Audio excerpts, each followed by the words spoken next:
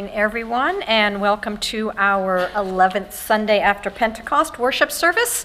It's nice to see each and every one of you, visitors and longtime members alike.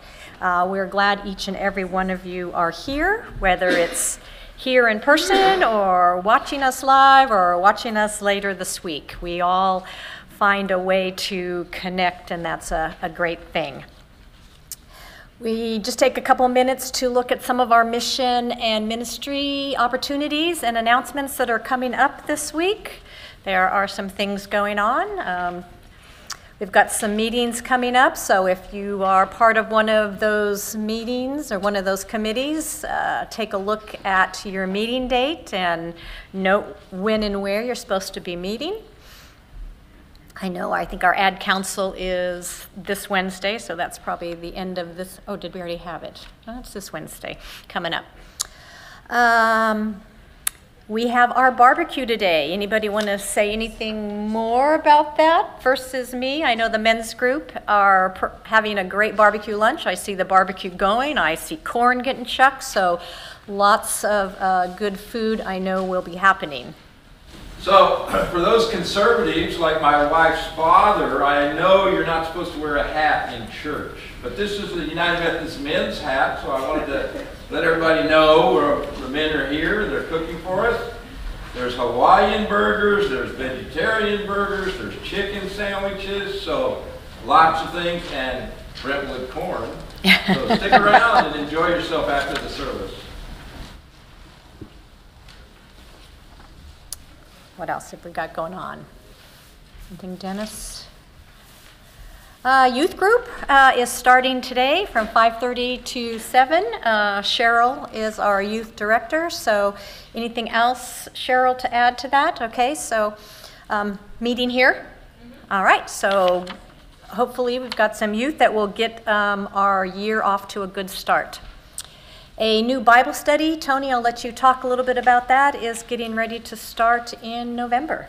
September. September. What's the sound of that? What's that? I mean, Sunday school coming in. You be there or be square. Yeah. September the 4th, I know it's Labor Day weekend, but we're going to start because the Bible, the book starts that day. And so I don't want anybody to get behind, but if you can't order it, let me know. I'll be outside there in the barbecue taking a sign up for a great new Sunday school class. It's all biblically based, promoted by the Methodists. Thank you. And it's drop in. If you, you Yes. don't- You can come and go. You don't have to. do Anytime. Okay. Uh, Again, this next two months are, while Pastor Haesung is on her sabbatical, we've been very blessed to have Reverend Mary Elyn with us, so she's going to be with us uh, two more weeks, and then we'll have um, two different pastors. Um, So we just keep them in our prayers as they come in and bless us with their, their messages. Are there any other announcements from the congregation? Let us be in an attitude of worship.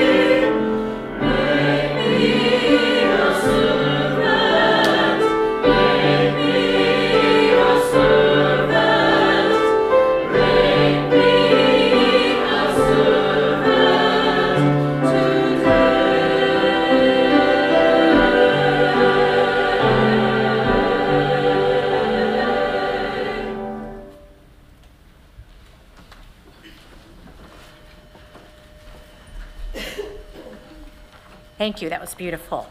I invite you to stand and join with me in our call to worship. Assemble before God, our rock and refuge. Come together to listen for the voice of our Creator.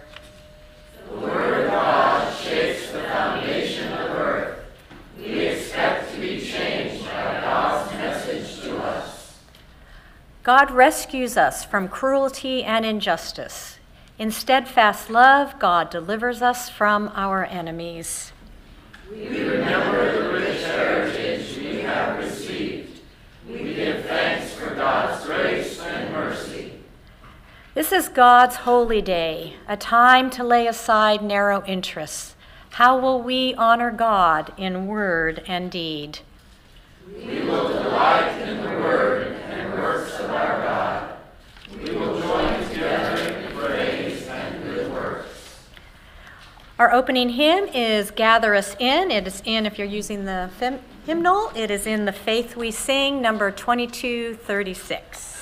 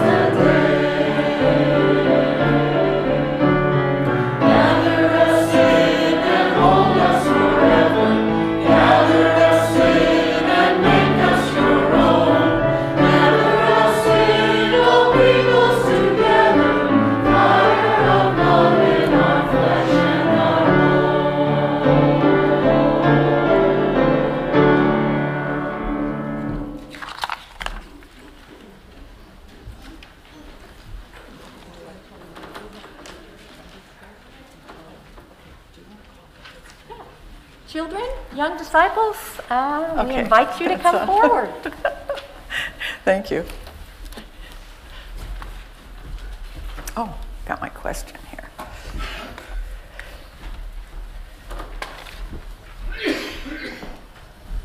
I've got a couple of young disciples today. You having a fun summer? Or are you back to school already? Did you go? You oh, when did you go back to school? Oh, already. Wow, your summer ended early then. Well, Mike, I have a question for you, and I think it's a question that not only the children need to think about, but I think as adults we all need to think about it too, as people who are Christians. How do people know that you're a Christian? How do you think people can tell if you didn't say you were a Christian and, and told them about where you go to church? What are some of the ways they might know you're a Christian? Uh, you pray to God. You pray, uh huh. hmm Any other ideas? Well, I thought of some, but I wanted to hear from you first. So maybe I should I just give you a couple of my ideas? I had to think about it myself when I asked the question. One is that you are kind, kind to one another. You can do that at school, right? You can do that when you see people on the street or in the stores. You can be kind wherever you are. And that's a good way to let people know you're Christians. What about helping others? Anybody here help anybody this last week? What did you do to help someone? I helped my brother by uh, building with him. Oh, you helped him by building with him, right. Okay. Is that your brother? Oh, okay. Was he a good help? Yes. Okay. you have to think about it, huh? Because it's your big brother. Well, let's see. What are some of the other ways? What about forgiving others? That's a hard one sometimes, isn't it? And sometimes forgiving others means you have to keep praying to God about it for a long, long, long time, right, everybody? Yeah, sometimes it doesn't make it all better right away, but people will know we are Christians, as the song says. They will know we are Christians by our love, by our love. They will know we are Christians by our love, by our love. So, when you go out from here, when you go out from church, you don't always have to tell people you're a Christian, but the promise is that people will know you're a Christian by your love and by how you treat others. And that's something the adults know too. And that's why everybody shows up at church week after week, because we all need help and we get help from being with one another. So let's see. I think now we say the Lord's Prayer together. Let's all fold our hands and bow our heads and say the Lord's Prayer. Our Father, who art in heaven, hallowed be thy name. Thy kingdom come, thy will be done, on earth as it is in heaven.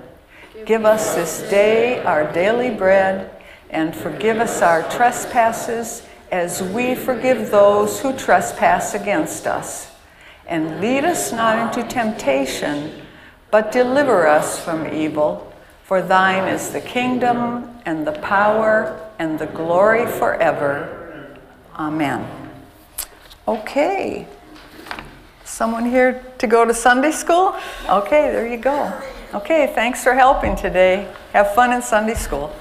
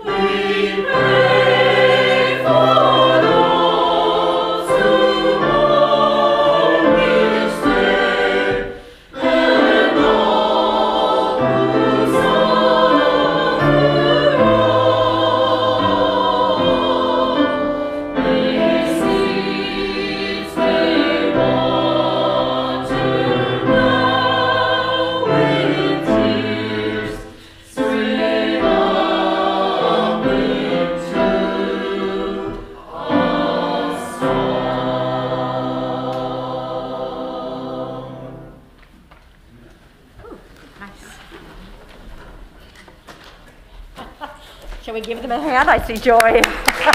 Joe thinking, we got to clap.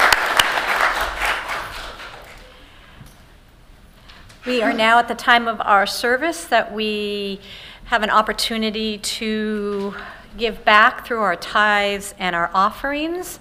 Um, just remember that during, as we've come back from COVID, we no longer pass our offering plate. So if you have missed an opportunity to, to make a donation today, the plate will be on the altar after church, and there's another one at the back of, of the church. Um, I invite you to join with me in prayer. Gracious God, whose giving knows no ending, we know how to say thank you when we receive. Right now, we say thank you as we give. In our giving, hear our heartfelt gratitude for all that you are and all that we have. Bless these gifts for your mission in the world, and bless the other gifts we also have to bring to your mission, opening our eyes to you, to how we are, you are calling us to participate. In Jesus' name we pray. Amen. Stand.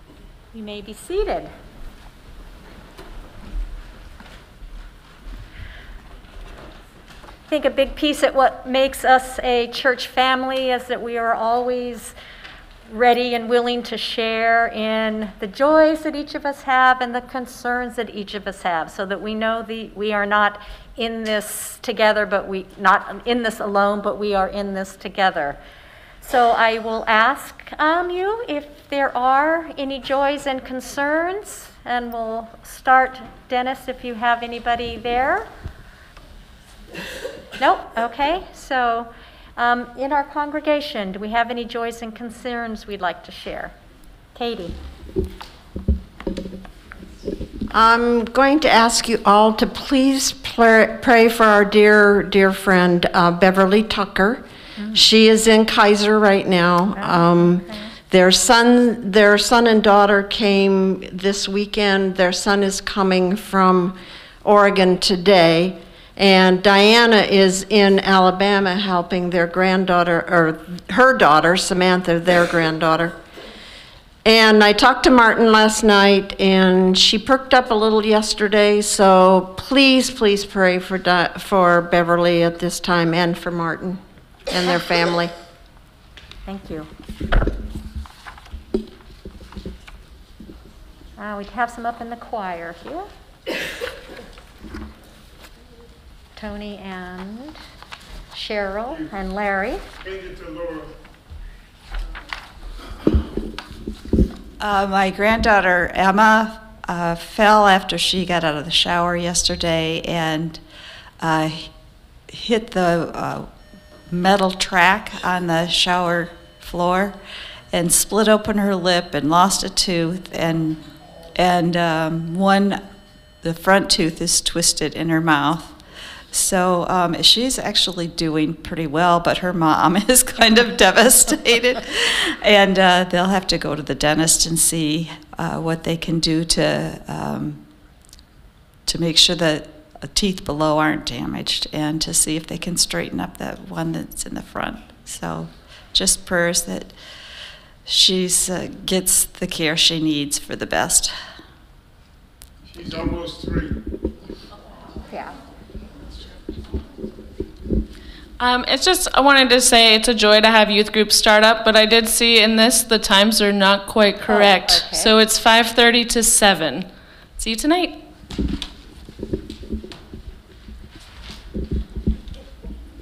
Uh, we had a lovely picnic in our uh, garden last night, and uh, thanks to the hard work of Cece, especially, even my grandson Dylan uh, helped dig some holes uh, to get it started. if you haven't seen it, uh, take take a look. It's looking wonderful. Thank you. Well, I think it's a joy to see Hugh and Angela back there. So I, th- I think Hugh was going to speak, but I'm happy to see you.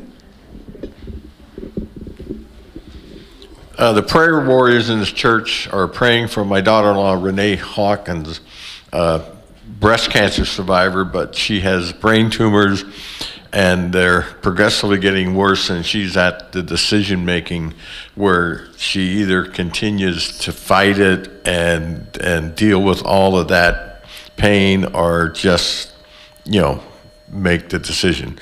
Uh, so I asked for prayers for her and Chris and the rest of the family.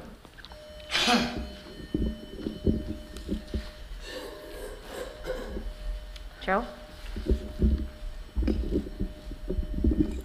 We've had two uh, joyful uh, family events recently. Last weekend, Joy and I were up in the Mendocino area for a celebration of life for a, family member, a cousin, that was held outdoors in uh, beautiful redwoods. Um, and it was a very meaningful and, and beautiful time together with family. And while we were up there, Joy and I just took a couple extra days. We rode on the skunk train and we went through the charming town of Mendocino and, and hiked by the ocean. So that was quite delightful. And then yesterday we were down in Los Altos Hills for our annual family reunion, which was again wonderful. Just a lot of visiting, good food, swimming, singing. Um, and what I notice is that the older generation that was always there at these family reunions, little by little, is no longer there. And we are now the older generation. and it's a little mysterious how that happened. But, but we en- enjoy watching the little kids running around, and, and it's a lot to be grateful for our family. I am sure it was a wonderful time. Any others? I have a joy. My grandson that lives in Spain, he's 19, he's been visiting for 10 days, and we've had a fabulous, fabulous family time, small family, so getting everyone together has been really wonderful week. Thank you.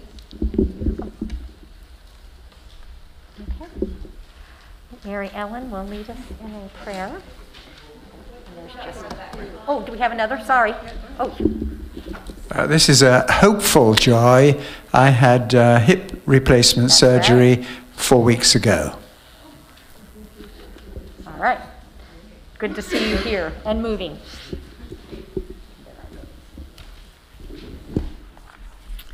Let's continue in a spirit of prayer.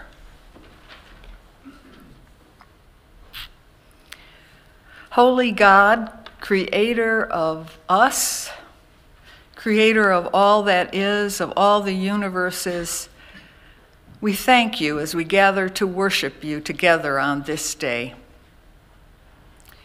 We come here with our hearts filled with so many things, but always we want to stop and give thanks for this community of faith, the community that hears us, comforts us, and listens to us. We're very grateful. We thank you for all of our needs being met, and we come to you asking you for whatever it is we need in our lives. As we gather together, you have heard so many of our prayers prayers of concern, prayers of hope, prayers for a time of decision making, joys and remembrances.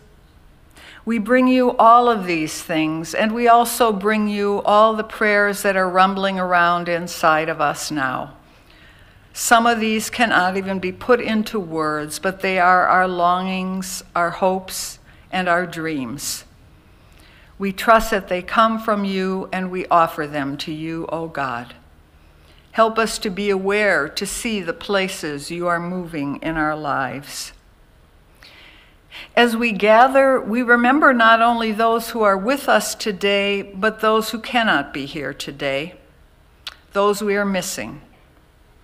And we also open our hearts and our prayers to the people in the places who live around this church. Some people are longing for a community, a safe place to go to be themselves. Help their hearts be opened, help our hearts to also be opened, that they will come to this place to worship you along with us. As we pray, we pray also for the heart of our nation on this day. We pray that the divisions among us be healed, that we begin to see that we are one people under God. And as we pray, we pray for people all over the world, people whose needs are not being met. We think of the refugees the world over who are leaving their homes because of war, because of famine. Be with each one of them. Help them to find comfort. Help them to find food and a safe place to lay their heads. And so, O oh God, we bring you all of these prayers and all of those even that are unspoken. And we offer them to you in the name of Jesus the Christ. Amen. Amen. Now we'll have the time of the passing of the peace. The peace of Christ be with you. Is there a way to do this during COVID? Gonna, we're just going to kind of follow along. Oh, okay. So, peace be with you. you. Peace be with you. You. Thank you. Okay.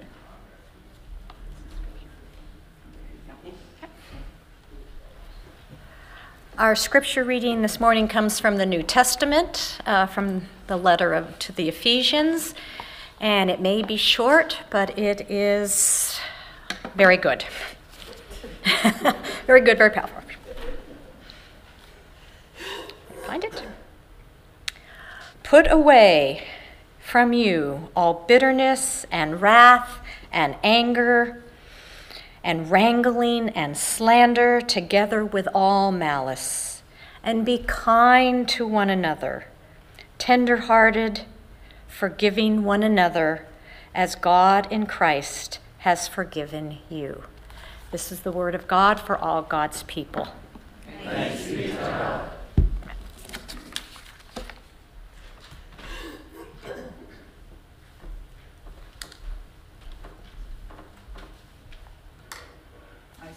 Title of that sermon is, whoop, is this on? Is, I am on? Okay. How to live in complicated times. And because I titled the sermon a how to sermon, I started to think about the very first self help book I ever read. I'm going to name it. I think probably someone here has also read the book. I think I would have borrowed that book from the Center Street Library in Milwaukee. And I guess I thought I needed help even at that time in my life. I was about junior high age. I was naturally shy, and of course, I would have been comparing myself to everybody else, in particular those who seemed to be more outgoing. The very first self help book was How to Win Friends and Influence People. you remember that book? Yes. Carnegie's book is one of the best selling books of all time. And I looked it up on Amazon. You can buy one for $10.79 on sale. I wonder what the original cost of that book was. It was not the first self help book. In the late 19th and early 20th centuries, several self help books in the English language had great success. Samuel Smiles, self help book. That's a good name for someone who's talking about self help. That was a collection of inspirational stories about hardworking people. And in the same year as it was published in the same year as Darwin's Origin of the Species, and The self help book, interestingly enough, was the only book that didn't outsell the Bible in that year. Now, there was a self help book of a sorts as early as 2800 BC, a letter of advice from father to son advocating moral behavior and self control. But anyway, I want to go back just for a moment to Carnegie's first self help book, and I think probably some of us still practice some of the things that we learned from him. Some of the lessons are pretty simple appeal to the other person's interests. Remember the names of people when you're introduced to them. A person's name is their most important possession.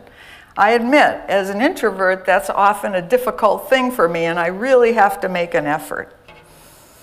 And here's one approach people with a positive demeanor, smile, and be happy. I have a friend named Joanne who is a master at this. She walks up to everybody with a smile and says, Hello, I'm Joanne. What's your name?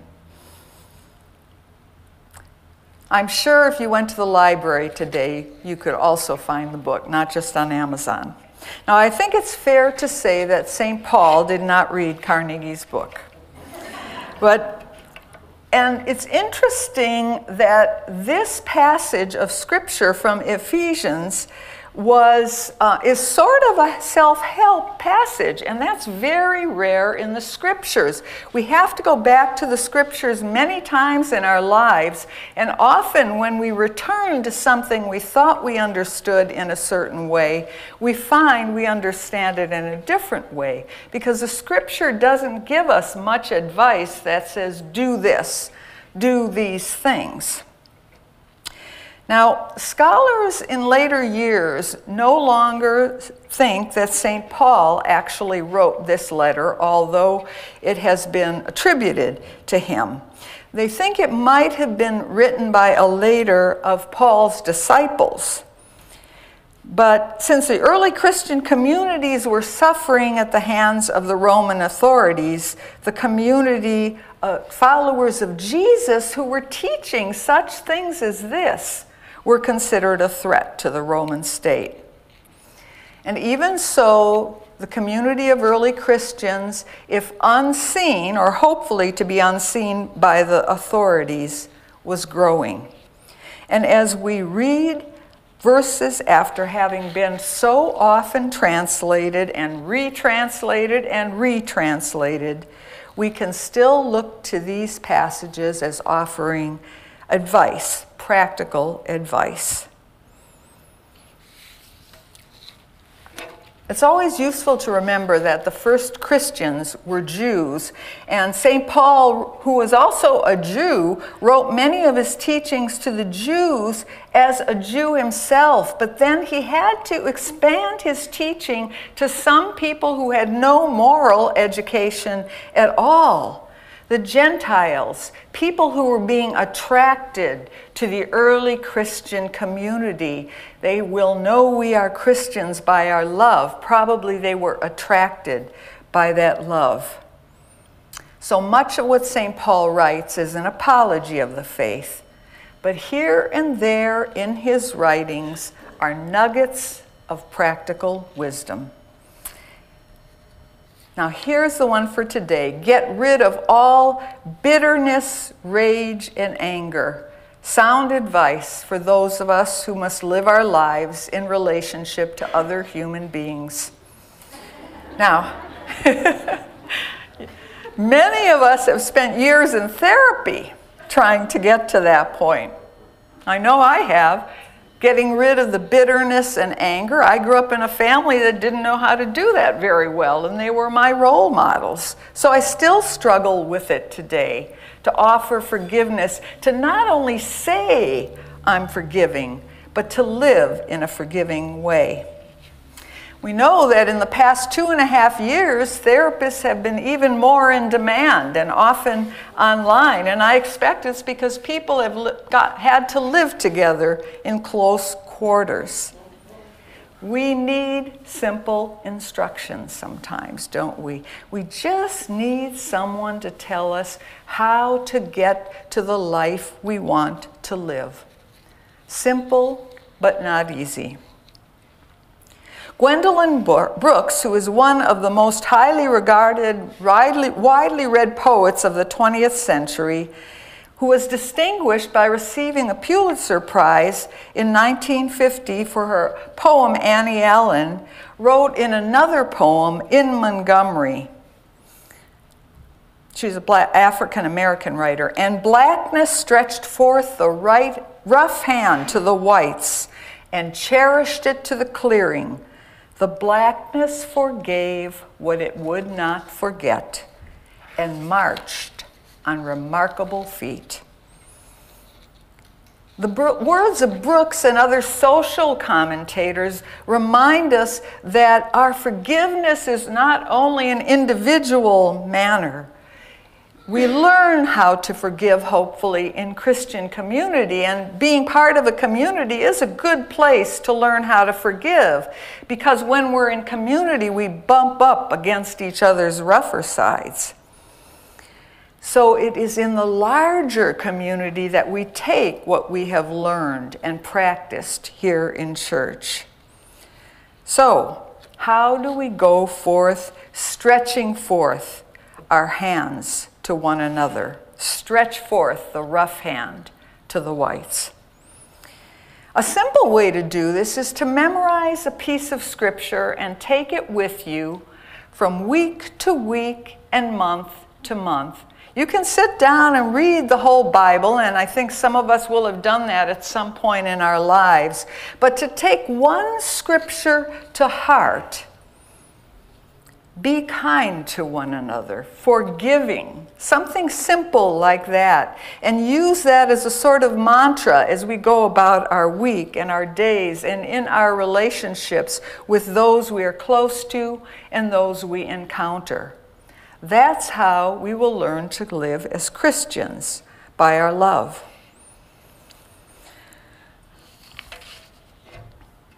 I don't know if any of you have read the book by Joyce Rupp. She's a Roman Catholic sister, and her, she's written quite a few books, and she's well known not only as a lecturer, lecture, uh, lecturer, but also as a workshop and retreat leader. Her latest book is called Boundless Compassion.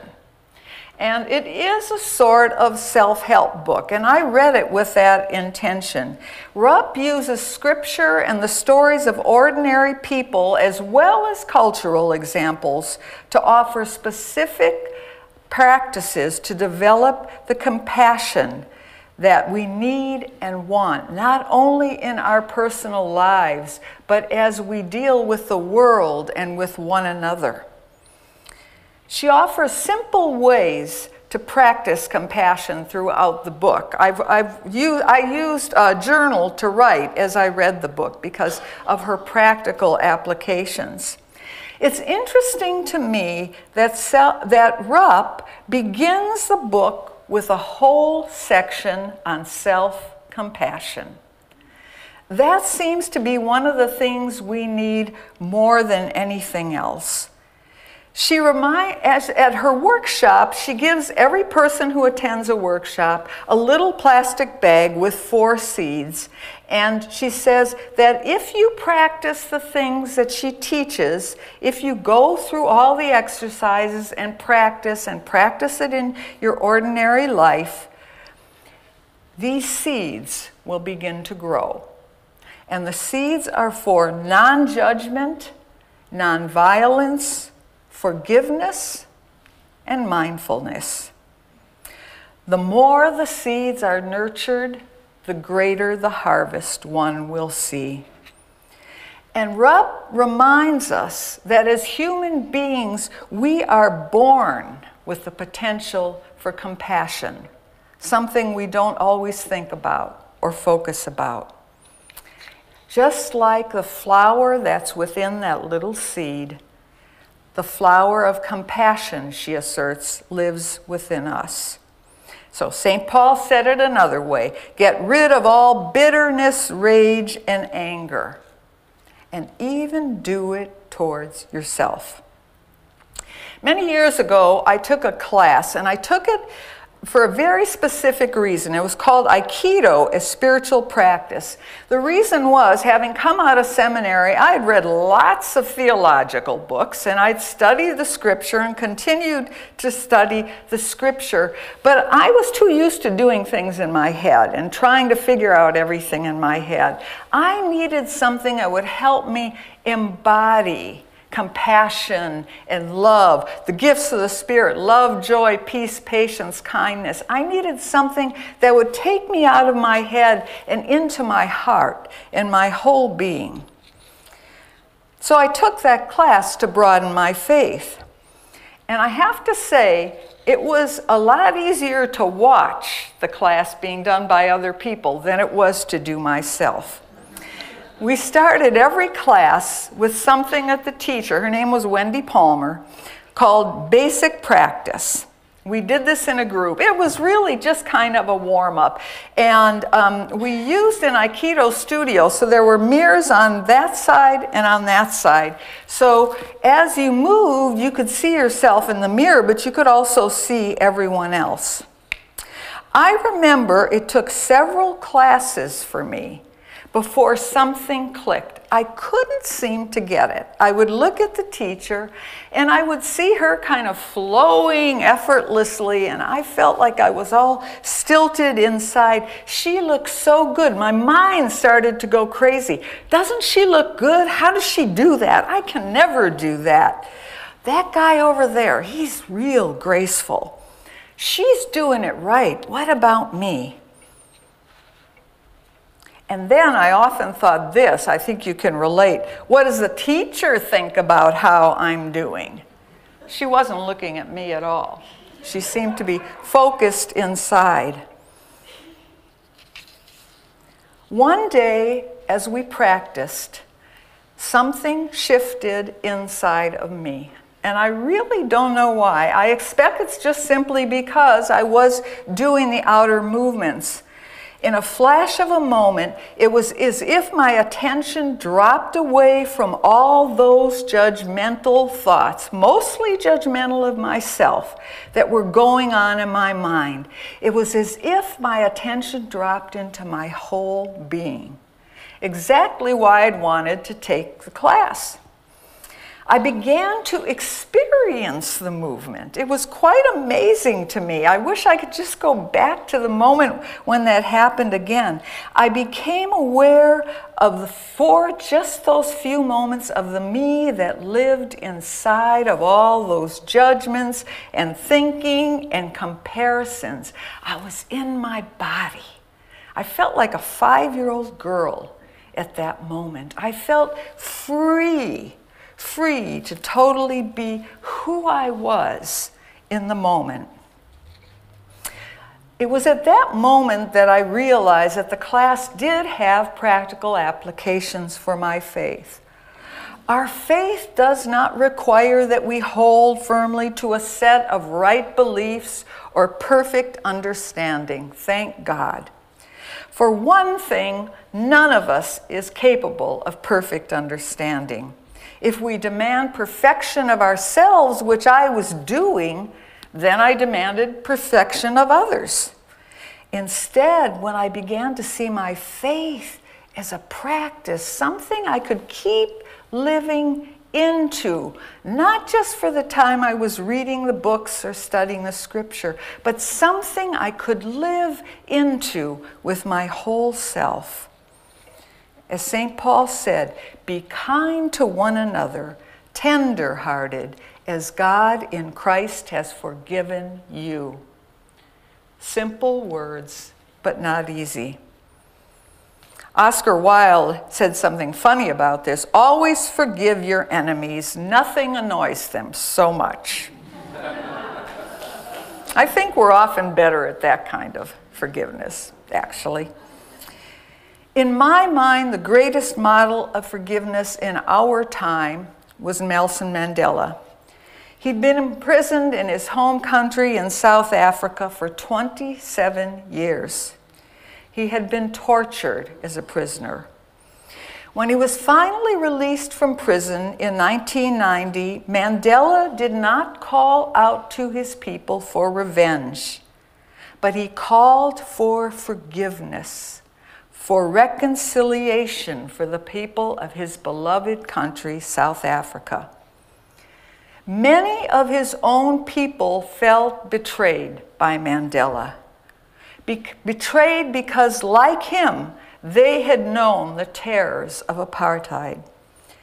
But it is true that we still remember Nelson Mandela as the man who came out and called for forgiveness, forgiveness, reconciliation among the people. It is possible that we find it so difficult to forgive others because we are human beings.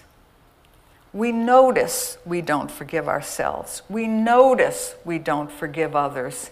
And we always long to be something more. How often are we able to say, I did the best I could with what I had at the time? Sounds so simple, but it's a tall order. I want to close with a quote from John Lewis, the former congressman from Georgia. He says this You have to be taught the way of peace, the way of love, the way of nonviolence. In the religious sense, you can say that in the bosom of every human being, there is a spark of the divine. So you don't have the right as a human being to abuse that spark of the divine in one another, in another human being. Or as St. Paul said, be kind and compassionate to one another, forgiving each other. Amen.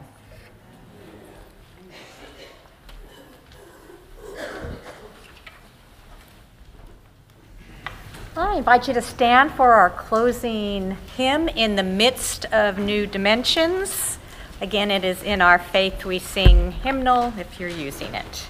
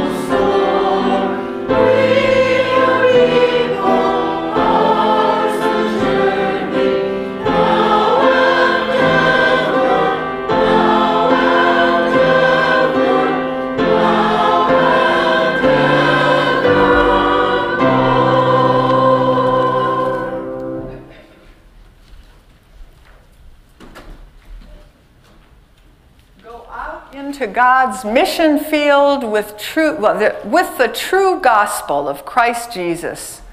May we walk with the Spirit and go beyond individual righteousness. May God grow, with, uh, grow us with fruit of the Spirit that we may bring communal righteousness to our world. May the love of God, the grace of our Lord Jesus Christ, the communion of the Holy Spirit be with you always and everywhere. Go in peace. Amen. Amen.